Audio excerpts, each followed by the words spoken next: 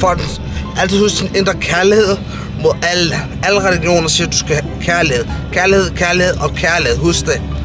Altså nu er jeg på vej op til øh, her. Jeg bor nemlig i Hillerød. Prøv bare at fortælle dig det. Og øh, ja, der er lidt forskelligt her. Så ja. Når vi øh, tager på Slottsakærne. Og jeg vil bare lige sige, at... Øh, man kan sige til det. Altså, nu er jeg gået min vej herover og øh, der er så meget, man kan sige til det hele. Det her, det stikker lidt. Den er busk der. Og øh, ja, langsomt på vej derop. Du kan se herover. Er det ikke et flot sted? Men øh, ja, en træ er deroppe faktisk. Lige der, du kan se. Fondens. Vi kan se Bilka lige derovre. Jeg skal købe en bildrik derinde, okay? Og så keder jeg mig. Og øh, så tager det så lang tid før, at jeg lige kan købe noget. Fordi, øh, skal jeg fortælle det? Jeg har en pædagog her, og øh, hun er lidt langsom og noget andet endnu. Fons. Jeg har lige taget et bolsje med drusukker og farve og alt det der, og smager skide godt. Og herhen er der lige noget hypo. Altså, jeg elsker suslik, øh, dengang jeg var ung, ikke? Og dengang jeg var lille. Og der elsker jeg også øh, slåtøj.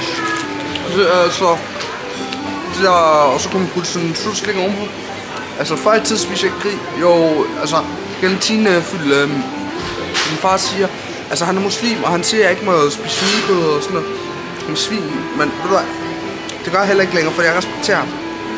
Okay. Men øh, nu er jeg på vej hen til, at øh, jeg skal købe mig en energidrik. Og øh, ja, der er lidt forskelligt her, man kan vælge imellem. Og øh, ja, ja. Og øh, ja, øh, der er så noget trøje, nej, tøj her. Og øh, hmm, ja, der er også noget børnetøj lige her. Og øh, ja, yeah. øh, ja, jeg er på vej hen øh, til lige at finde mig en energidrik hurtigt. Sådan her. Og øh, ja, der er forskellige, der er også booster der. Og øh, ved du hvad, jeg, jeg slår mig en sukkerfri booster. Lige her.